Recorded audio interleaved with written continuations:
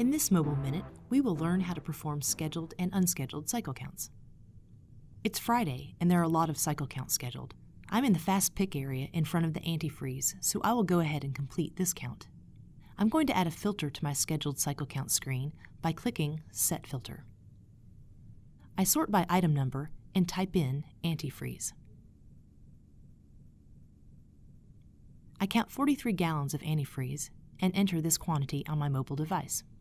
I complete the count and I see that the Done field is marked Yes.